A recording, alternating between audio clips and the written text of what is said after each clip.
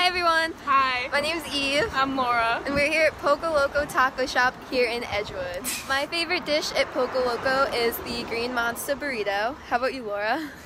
My favorite dish is the barbecue chicken quesadilla. Sounds good. Sounds good.